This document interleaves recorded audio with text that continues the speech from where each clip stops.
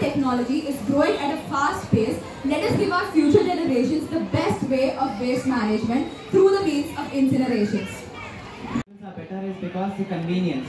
Incinerators require highly trained staff and also uh, in less developed countries landfills are much better because of the less amount of infrastructure and money to be invested. So less developed countries can use landfills better than incinerators.